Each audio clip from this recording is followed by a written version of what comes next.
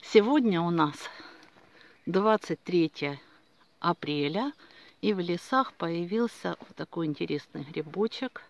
Называется ТСЖ или трутовик серно-желтый. Давайте его посмотрим поближе. Американцы его называют цыпленком за такой желтый цвет. Ну, у нас сегодня не повезло. Цвет у него бледно, бледно-желтый. Вот. И вкус в маринованном виде похожий на бекон, как они говорят. Значит, употребляется в маринованном виде, в жареном. В жареном, например, я пробовала, мне очень понравился его сладковато-ореховый привкус. И говорят, что еще и в соленом виде. Значит, относится к числу древесных паразитов.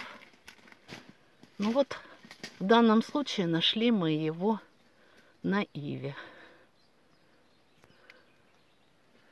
Так, вот такая красота.